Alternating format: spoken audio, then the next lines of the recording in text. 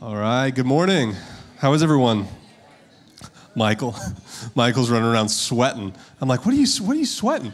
He goes, he goes, bro, bro, there's 17 kids back in the youth room. We haven't even dismissed them yet. So that's good news. If you got high school students, they got some friends back there. That's a, that's a good thing. Um, welcome to church. If this is your first time here, my name is Bronson. I'm one of the leaders here, and I'm excited you're here. Uh, we got any fellas in the house? Any fellas? Let me hear a little. Like any fellas? Okay. Uh, this Tuesday night, I want to invite you. Um, we're going to have a night uh, for the men up at our Conway Church and uh, it's gonna be at six o'clock. And uh, my, our, our, founding pastor, Pastor Rick, texted me this morning. He's like, "I got a challenge." Like he's like, "I've got a word in my heart. I want the men to be there. I want to challenge them." I don't know, guys. I don't know how you're wired. I love a challenge. Like you challenge me to do something, or you tell me, "Hey, I don't know if you've got this in you, but we'll see." I'm like, "You're gonna find out, right?" You know. And so come out. That, that's gonna be a good night. And I, I want to invite you, tell you some things that are going on. I, I know as men so often in, different seasons of life, we have no idea what we're doing, but we kind of have to act like we do. Come on, fellas. Amen on that. And, you know, it's like when, when you're getting married or engaged, it's like, oh my gosh, I've got to ask this question. Is this the right person? All those different things. Then you have kids and you're like, oh my gosh, I've got to raise this kid. And then they get older and they're in high school and they're rebelling and you're like, I've got to discipline this kid, you know, or whatever. And at every season of life, you know, you're retired, you're trying to figure out what that looks like. And I know every person goes through that, but men specifically, I want to talk to you. We're going to set aside a time every, Wednesday morning, not this week, but starting next week, uh, where we just get together and we pray. And we seek God together and we ask for wisdom for our families. We pray over our kids, pray over your businesses. And we're going to start there. Eventually, we'll probably do a study or something. But I want to invite you to come out. I'll be right here in the sanctuary Wednesday mornings at 6 a.m. And I'd love for you to come to that. Cool? Okay, let's let's get to this. Actually, one more bit of announcement.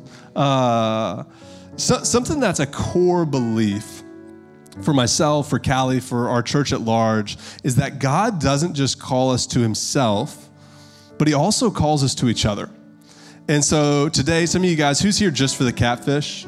You're like, man, I, I wish you'd really get through this because I'm here for the catfish that's outside. Um, but what we believe is that we're better together. We, we believe that God didn't call us isolated as Christians to live on an island, but to live in a relationship. And so, if you're looking for a place to plug in, next week we're having our life group launch. Okay, so there's gonna be over 20 groups, Bible studies, there's recreation groups. I hear Nathan's gonna be playing some volleyball or something like that. Oh, yeah. He doesn't just do video work. Uh, but if you can't make it next weekend, there's a Connect tent out there. We'd love to get to know you. We'd love to help you sign up, find a group. So we're kind of giving you two weekends here. But next weekend, we're going to have tables and we're going to kind of call it open house where you can walk around the church and, and find a place in it. And so, okay, this week, we're starting in the book of Acts. Everybody say Acts. Uh, we're going to be studying through this over the next 12 weeks, and it's going to be a blast. And we're going to be looking at what made the early church the early church, right? Like how did this ragtag group of guys who could not get it together in any of the gospels all of a sudden do the things that they did and so we're going to be looking at what god did within the church and so if you're taking notes uh, the, the, the, book of acts it's written by luke luke also luke uh, both services uh, Luke also wrote another book. Does anybody have an idea what that might be called? The Gospel of Luke. That's right. We've got a bunch of geniuses. Okay. Uh, so he, he wrote the Gospel of Luke about the life of Jesus and how Jesus lived and his ministry and his life, death, and resurrection. And then he wrote the book of Acts, and he wrote it to a guy named Theophilus. Everybody say Theophilus. Now, Theophilus is, is also an adjective, and I love this. It was definitely a person's name, but it's an adjective that means loved by God. And I just think that's so cool. Like, this is a book that was written to those loved by God. Isn't that cool? And so we get to look and see okay, how, how are we supposed to live and how are we supposed to minister and, and have life together? And so, what, what we're going to see is we're going to see a honeymoon period. And, and, I think that what happens so often for churches and Christians is we look at the, the honeymoon period and we're like, we got to get back to the early church, right? Anybody ever said that? My hand is so high, and I, I actually believe that. But what we miss is that they had this short period where it was like everything was going well. They were growing like crazy. 3,000 people were added to the church in one day, and they're meeting in each other's homes, and the Holy Spirit's moving in crazy ways. Y'all, it was pandemonium. Like it was crazy the things that were happening. And then persecution came, and their leaders started getting killed by people who were threatened by them, and people who were dear to them in the community were murdered. I mean, just think about that. And then there was absolute hypocrisy and lying. And we're going to talk about that out of Acts chapter 5. Some crazy stuff happens there. But then the gospel just spreads like crazy. So, what we're going to be doing is we're going to be looking at what happened in the early church, what can we learn from it. And in this series, we're going to study that nature. What, what moved them from being this ragtag group of marginalized, uneducated people to, listen to this, being the most powerful, think, let this settle in, the most powerful movement in the history of the world. We're going to get to track, we're going to get to read. This is the one letter that outlines what happened in this group of people. And as we study, we have to ask ourselves this question what marked these people? And what does that mean for us? We're going to see revival, healing, works of power, hypocrisy, unspeakable loss, but at the same time, we're going to see unstoppable hope. And so, I'm going to give you a thesis, uh, kind of what we're going to work through today. Um, anybody, anybody appreciate? Y'all like that? You like getting a? Okay, I've got a few people like, yes, I'm, I'm into it. She has to raise her hand. That's my wife. Uh, just looking for some affirmation, you know. This is my thesis for this morning. The call for every Christian is to wait for God's timing, witness to God's power, and live in such a way that causes people to ask questions for which the gospel is the answer. Okay?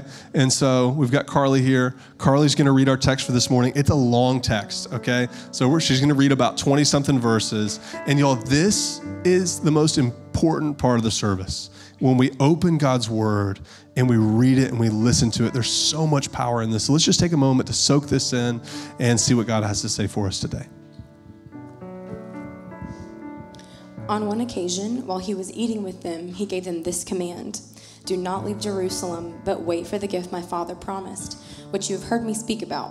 For John baptized with water, but in a few days you will be baptized with the Holy Spirit. So when they met together, they asked him, Lord, are you at this time going to restore the kingdom to Israel? He said to them, It is not for you to know the times or dates the Father has set by his own authority, but you will receive power when the Holy Spirit comes on you, and you will be my witnesses in Jerusalem and in all Judea and Samaria and to the ends of the earth. After he said this, he was taken up before their very eyes, and a cloud hid him from their sight.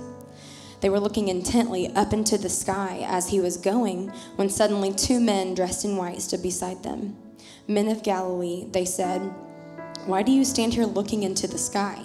This same Jesus who has been taken from you into heaven will come back in the same way you have seen him go into heaven. When the day of Pentecost came, they were all together in one place. Suddenly, a sound like the blowing of a violent wind came from heaven and filled the whole house where they were sitting. They saw what seemed to be tongues of fire that separated and came to rest on each of them. All of them were filled with the Holy Spirit and began to speak in other tongues as the Spirit enabled them. Now there were staying in Jerusalem God fearing Jews from every nation under heaven.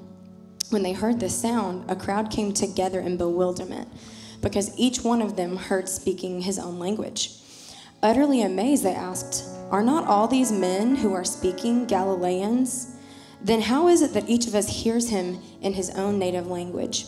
Parthians, Medes, and Elamites, residents of Mesopotamia, Judea and Cappadocia, Pontus and Asia, Phrygia and Pamphylia, Egypt, and parts of Libya near Cyrene, visitors from Rome, both Jews and converts to Judaism Cretans, and Arabs. We hear them declaring the wonders of God in our own tongues. Amazed and perplexed, they asked one another, What does this mean? Some, however, made fun of them and said, They have had too much wine. This is the word of the Lord. Let's pray. God, we thank you for your word. God, we believe that you are the Lord of everything, that you're the creator of heaven and earth. God, we thank you that you gave us this book to speak to us. God, we thank you that you gave us Jesus to save us. And God, we thank you that you gave us the Holy Spirit to lead us, to guide us, to empower us. And God, we don't want to grieve you in any way. God, we want to hear directly from you. And it's in Jesus' name we pray. And everybody said, Amen. Amen. Y'all, Carly can sing and read. Okay, she got all of. Uh, you had to notice all those different things. The Cretans, she got all of it. Way to go, Carly. And her Bible weighs ten pounds. Okay. Um, uh, okay. So before we get into the text, I, have got a question. Where are my crazy like package delivery trackers at? Come on, you're like a psychopath. Where, where, where are you at? Come on, raise your hands proud. Like, okay. Now here's the true test. And there, there are wrong answers, there's, there's a correct answer. What app allows you to track the truck? Shop. What's, you, what's shop? You can track any truck? FedEx? Let's meet. After church, down here at the altar, we're, we're going to have some time. I just learned something. There's y'all crazier than me, one. but two, I got an app I got to download. How much does it cost? Free. God, we just thank you for this morning. And yeah. Okay. Man, I just got to take that in. I'm so excited. Okay. So for me, I, I use the UPS tr- app. I, I, didn't know about this other one. And, and, I will track the truck, right? Like I'll find out what neighborhood it is. I know where my UPS driver goes to lunch every day, okay?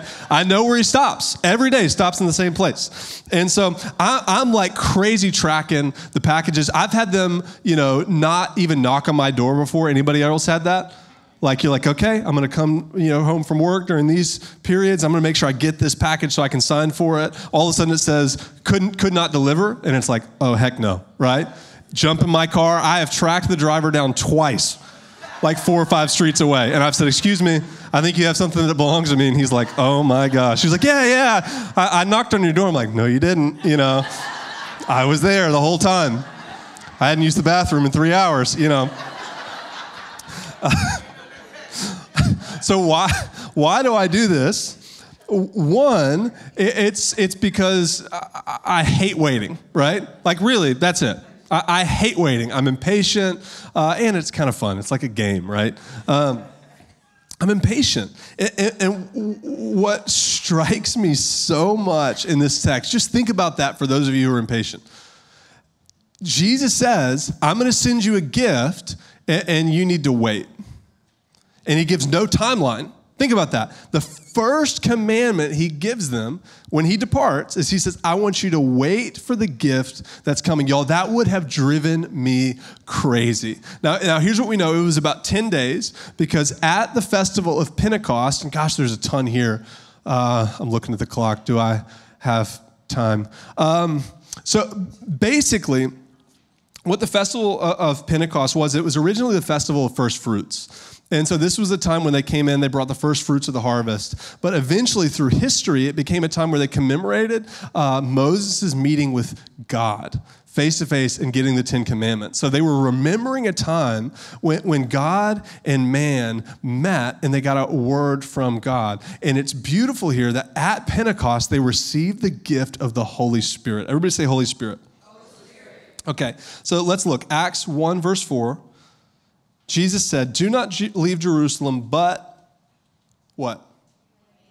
Wait. So, why did they have to wait? I'll answer the question with another question. How did a group of 120 uneducated, marginalized people with virtually no power, living under Roman occupation, which was the greatest empire the world had ever seen, come to become the dominant group of people on the planet within 200 years. How did this group of people who had no power come to become the most powerful group of people on the planet? Let's drive this deeper. Let's look at some three failures, like utter failures of the disciples, right? So Jesus does a teaching in Matthew 20 where he says the, the greatest will be the least and the least will be the what? Servants will be the greatest in God's kingdom.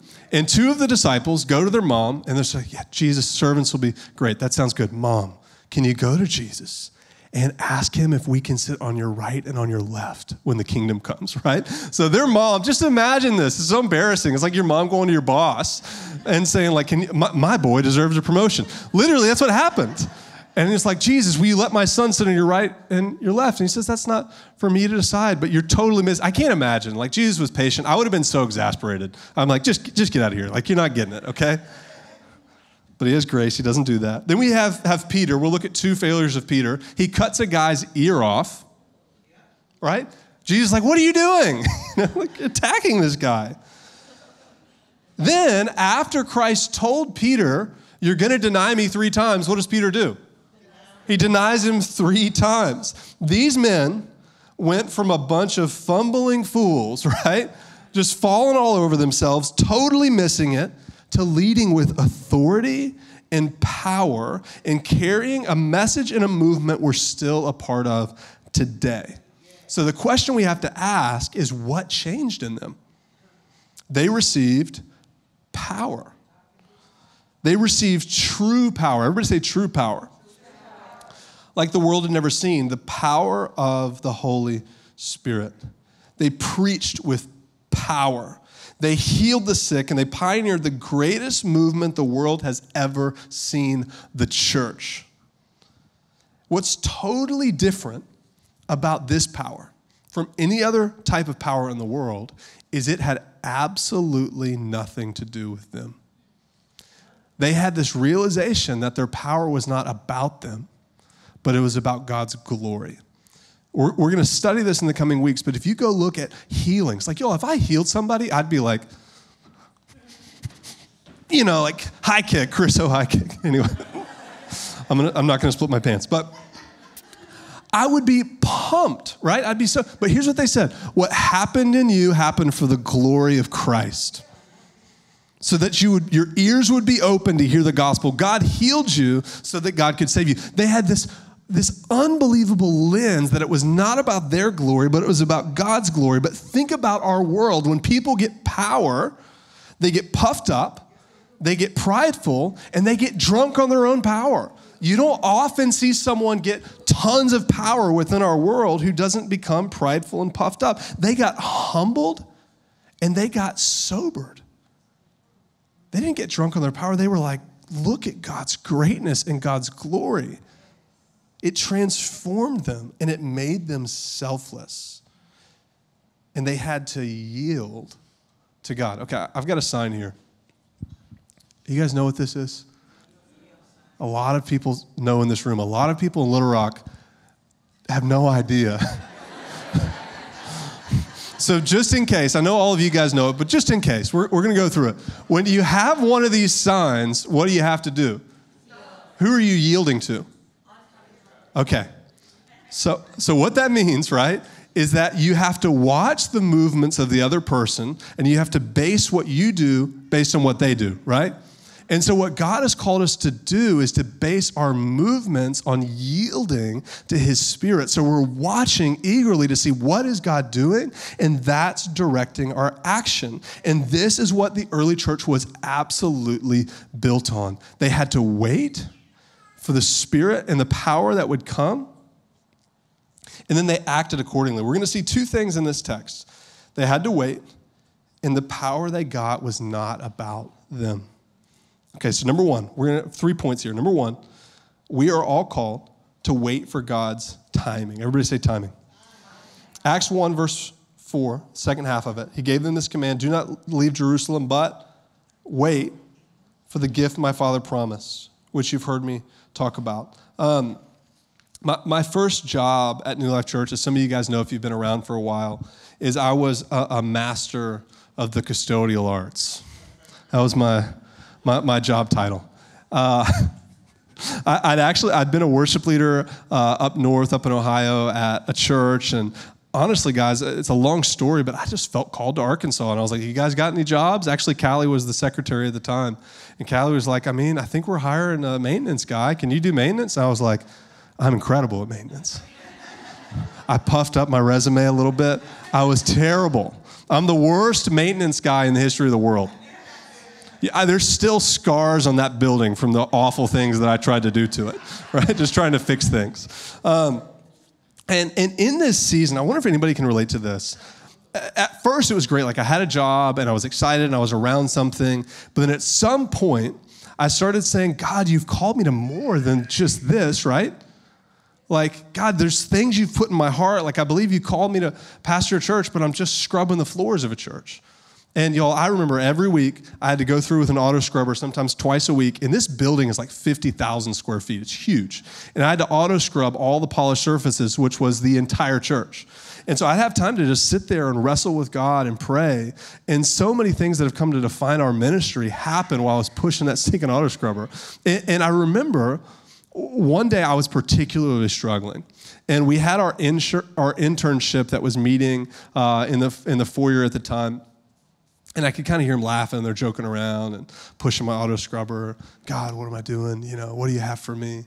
And one of the kid gets a piece of gum, unwraps it, pops it in his mouth, twists up the wrapper, and throws it in front of the auto scrubber.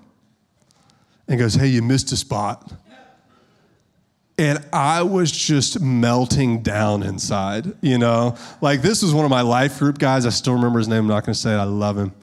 But I was so angry. And I'm like, if you knew the things God had planned for me, you'd never disrespect me like that. You know, all my pride is just rushing to the surface, you know? And, and I remember in that moment, the Holy Spirit hit me with something that I, I, I take with me in every season of my life is God hit me with if, I, if I've called you to do this for another 10 years, will you do it? Will you wait for my timing? And I just remember it was in that moment where it was a, a real submission for me, where it was like, God, yes. Like, if this is what you have for me to do. And, and here's what I've learned. Y'all, some of you guys, you're going through seasons of life right now, and you don't feel like you're where you're supposed to be. You're in a job where you feel like, man, I should be moving up faster than what I'm moving up. Or, God, what am I doing here? What am I doing in Little Rock? I thought you called me to go somewhere else. And what I found to be true is that we do not get to determine the seasons. God determines the seasons, right? Just like right now, we didn't determine it was going to rain. We're doing a big fish fry, right?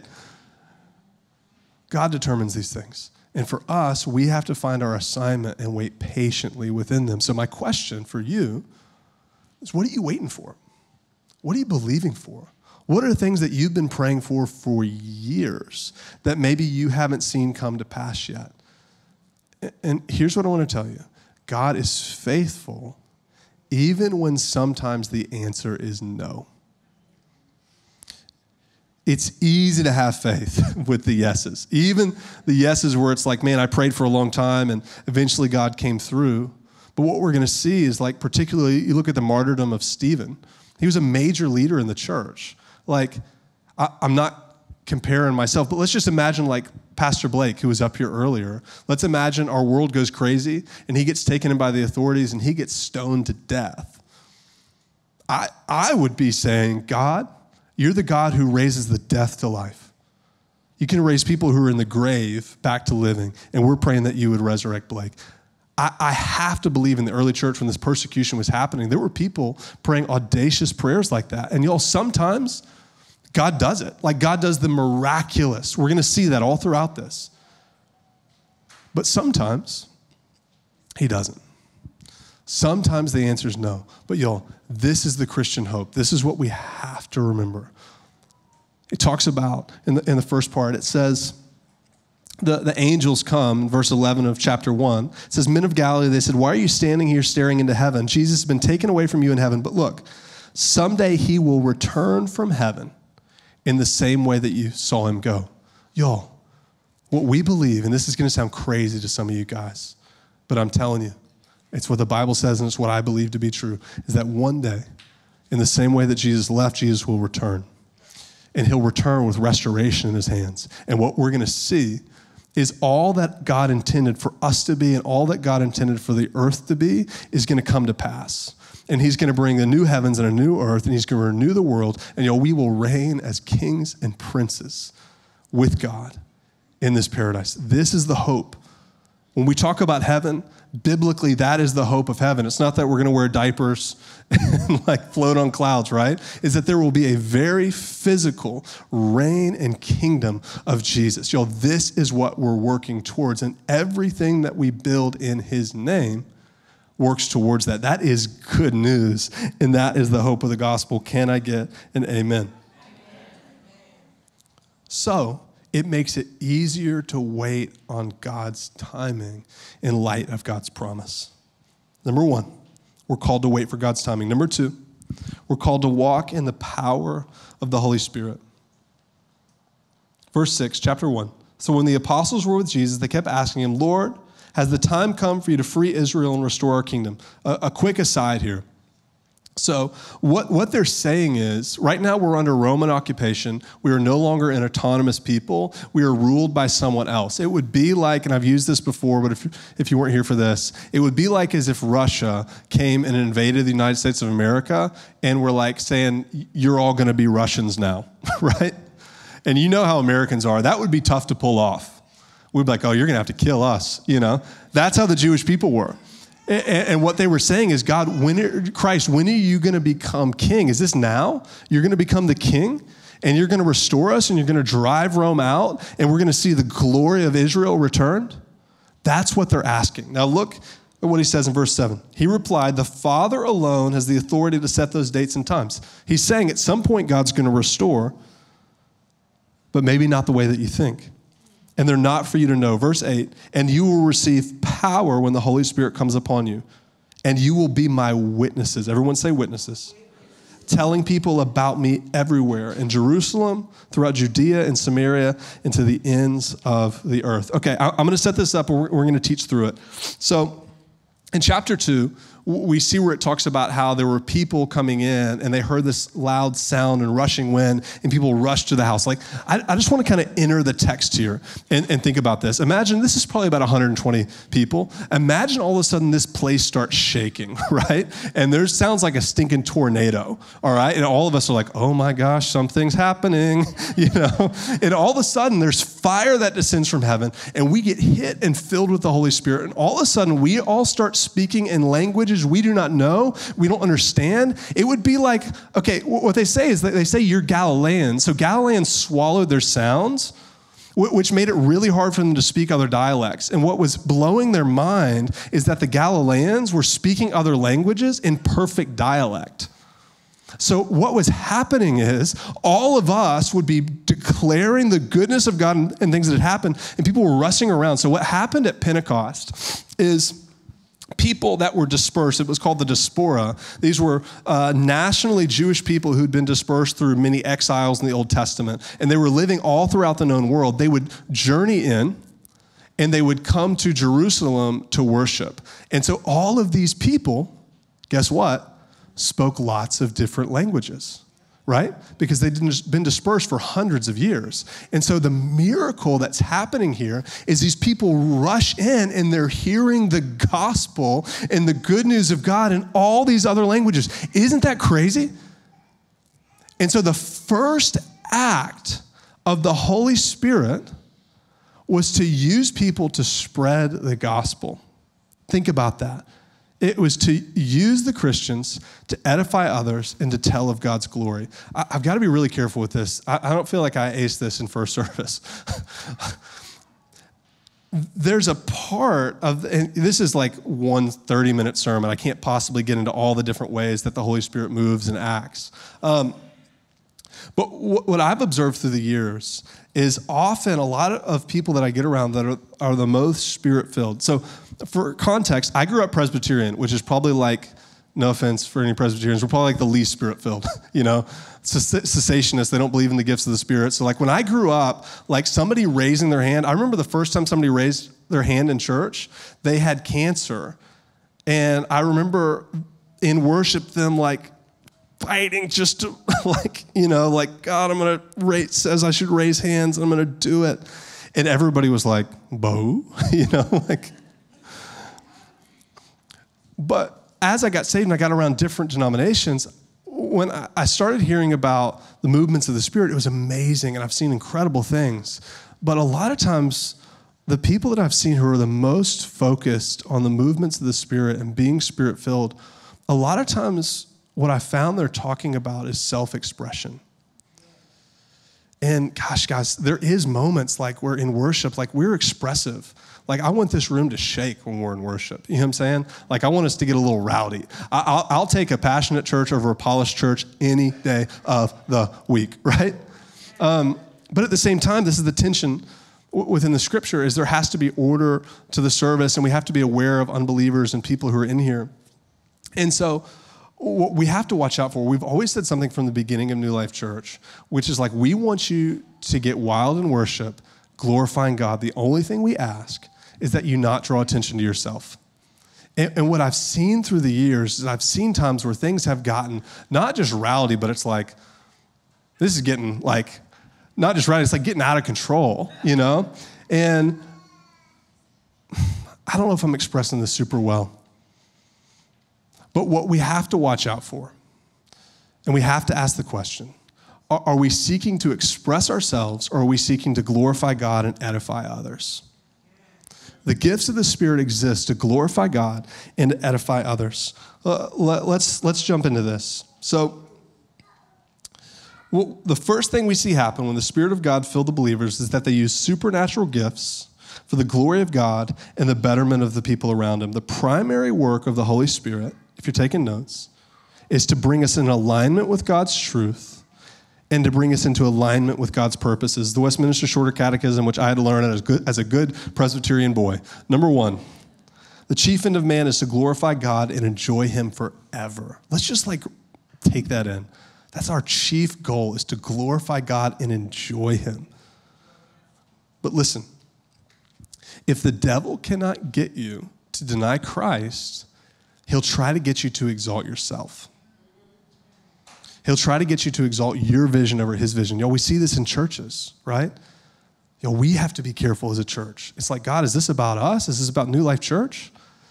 Or is this about you and your glory? And we're a small part of what you've been doing. Well, we have to look as individuals and say, man, am I using my faith the way that God's built me up to glorify Him and edify others? Or am I using those gifts to exalt myself? So we see this. Let's look really quickly, and I'm over time, but I'm going to keep going, even if you don't want me to. I'm sorry. Uh, some of you guys are like, catfish. Um, Luke 4. So, uh, if you're familiar, if you're not familiar, there's the temptation of Jesus in the desert, which is where Jesus goes and he fasts for 40 days, 40 nights. He has no food, no water. And at the end of that time, he's hungry, the Bible says, which that sounds good, right? Uh, and the devil comes to him and says, If you are who you say you are, turn these stones into bread. What's he trying to get him to do? He's trying to get him to exalt himself to get outside of God's timing and to fulfill his own needs, right? The next thing he says, he says, If you'll worship me, I'll make you the name that's above every other name on earth. I'll give you all authority, all glory. All you have to do is f- fall down and worship me. What's he trying to tempt him to do? He's trying to get him to exalt himself and to get in front of God's timing. The last thing he says is his, I'm going to take you. He takes him to the top of the temple. And he says, if you throw yourself out, if you throw yourself off the temple, if you're truly the Son of God, the angels will come down from heaven and they'll protect you because the word says that He won't let your foot hit a stone. And He says, Get away from me, leave. I'm not going to do that. I'm going to glorify God. And then it says, the next sentence, it says that He walked into Galilee, interesting in the spirit and in power. And what he does is he unrolls the scroll of Isaiah. He goes into the temple, he unrolls the scroll, and he reads from it. And here's what it says. Isaiah 4, or sorry, Luke 4, 18 and 19. This is the mission statement of Jesus. It says, The Spirit of the Lord is upon me because he's anointed me to proclaim good news to the poor.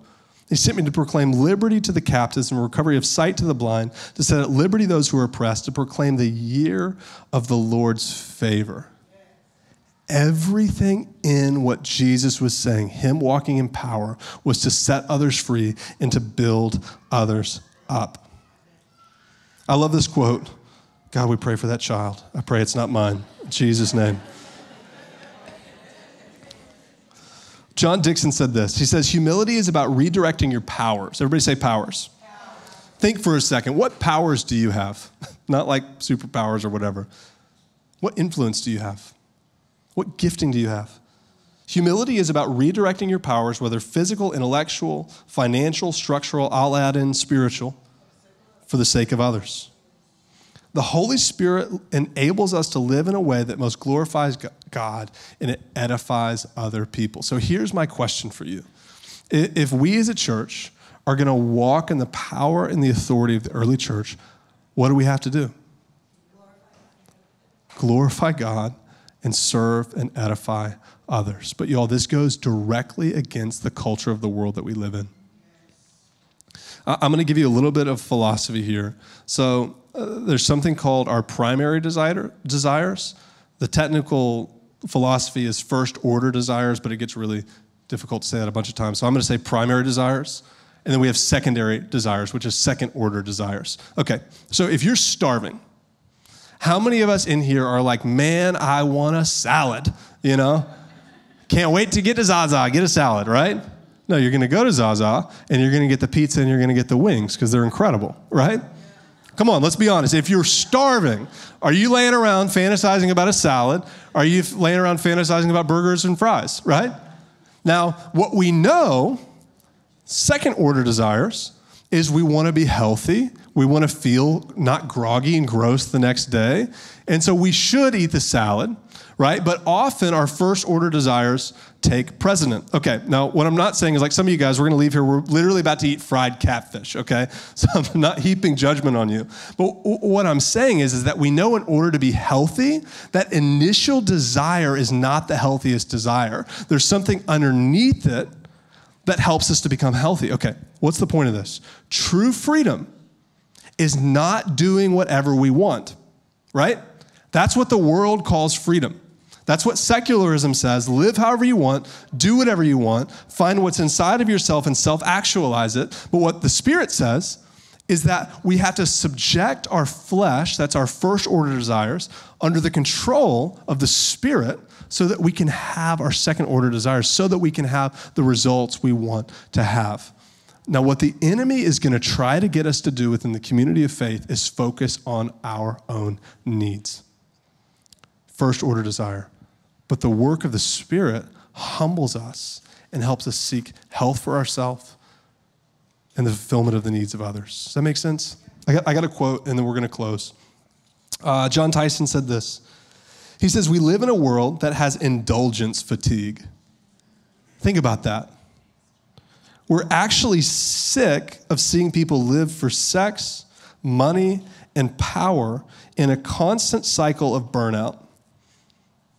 Instead of being driven by sex, money, and power, we must be driven by faithfulness, generosity, and servanthood. We still enjoy the great gift of God that's human sexuality, but we do it in, in a faithful covenantal framework that's within marriage. We still experience the goodness of God that's granted through wealth. There's nothing wrong with making money, right? But we do it with a spirit of generosity and sharing. We still occupy positions of influence but we don't use that power to build our own kingdoms. We do it to serve others in the spirit of Christ. Last point. We're called to live in such a way that it causes people to ask questions for which the gospel is the answer. Acts 2:12. We're closing with this. They stood there amazed and perplexed. What can this mean? They asked each other there was something happening that caused people to ask questions. It says in 1 Peter, it says, be ready to give an answer for the hope you have. But here's the problem the problem comes when we're living in such a way that doesn't cause people to ask questions about our hope. When we're living in such a way where people aren't saying, man, like, you're different, like, you're generous. Like, you, you love your wife well, you love your family well, you're committed, you're serving other people.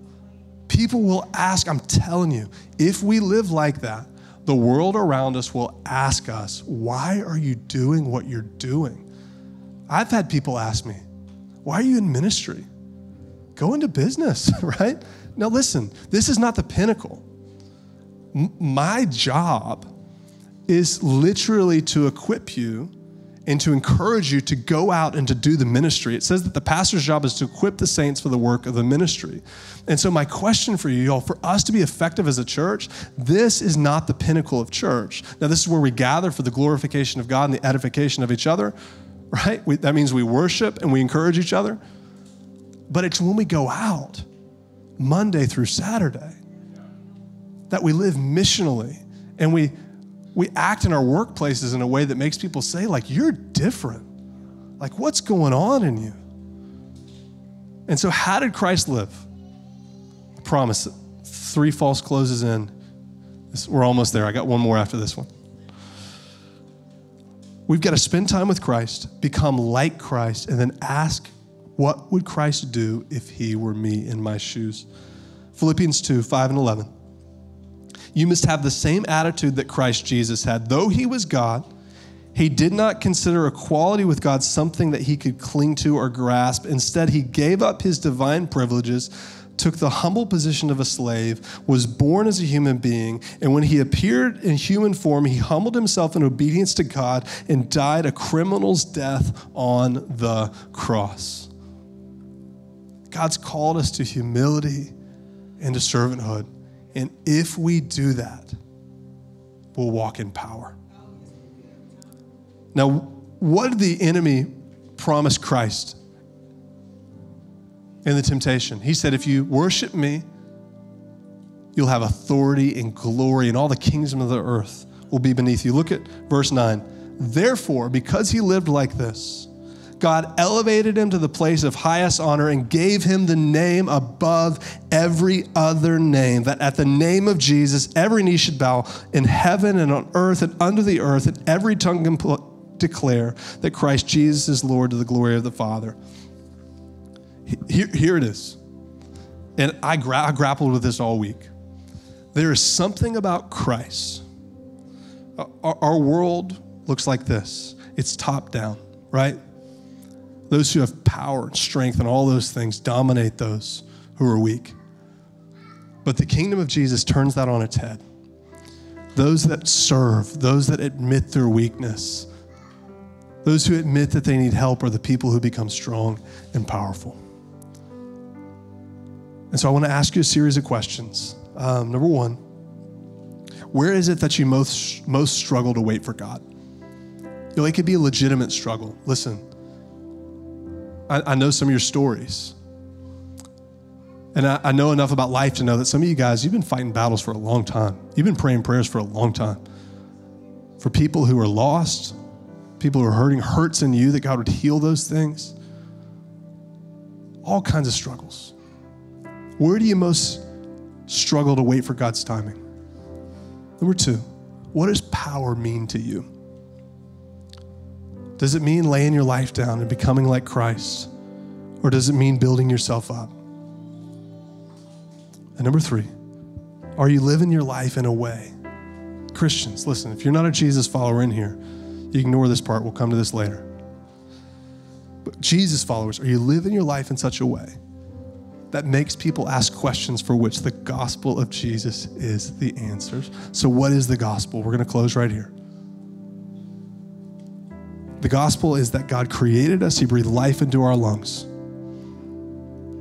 That we rebelled and we sought our own interest. And from that moment, God sought to redeem us and to bring us back into our purpose. Christ came and lived a life none of us could ever live.